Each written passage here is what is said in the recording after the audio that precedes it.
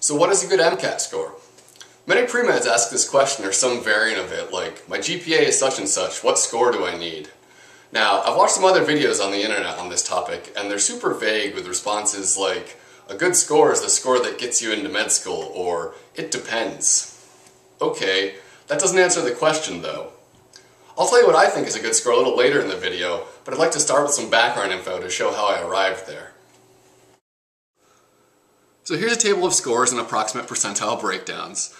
I say approximate because the percentiles are actually given in ranges. These data are for all test takers, not applicants, and are taken from a document published by the AAMC detailing the 2011 exam results, and you can find a link to that in the video description. It's pretty interesting. They give section breakdowns and distribution curves and all that good stuff, so check it out if you like. What I have here I feel is pretty good summary though. Now the average matriculant at USMD schools scores about a 30, 31, and about a 27 for DO schools. The very top schools typically have an average of 35 and change. Uh, Harvard and Columbia, for instance, do have that info on their websites, and last I checked, their entering classes were around a 35.6. So does that mean a good score is a 36 at the top schools? Well, yes, certainly, but I'd also say that a 33 is a good score, even though it's below average. Having been in the admissions process and heard from schools themselves about how they extend interview offers, I came up with this chart to help visualize how they might determine what a good MCAT actually is. So on the Y, we have weight given towards interview, and on the X is your MCAT score. What I mean by weight given towards interview is, uh, think of it this way. Say there are 20 interview points up for grabs, and you can get up to five of them from your MCAT. Obviously, I just made up these numbers, and I'm not saying this is how it's done. Schools may pull names out of a hat for all I know, but I feel this chart is a good model. So why a parabola and not a line? Well, the state of the admissions process is a vicious and competitive one. Schools are inundated with 5,000 to over 10,000 applications for about 100 to 150 seats in each class.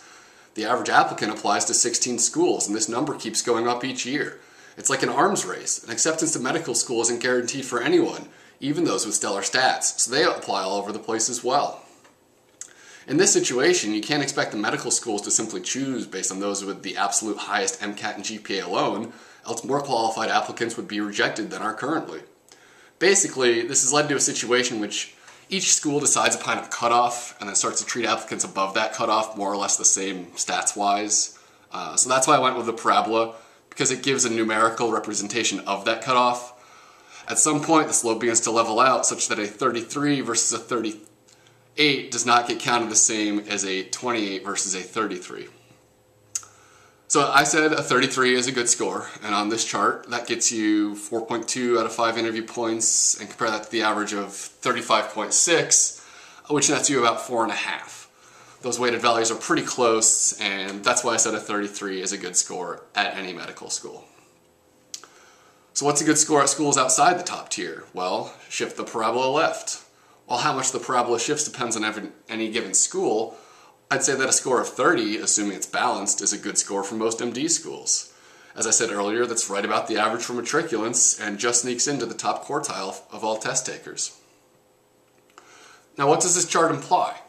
Well, it certainly implies that a good MCAT is necessary but not sufficient to get an interview or acceptance. Probably likewise for GPA. It also implies that extracurriculars matter a ton. The human element is a big part of med school admissions. That's not to say a good MCAT doesn't help, it certainly does, but once you're above a certain threshold, any extra points start to matter less.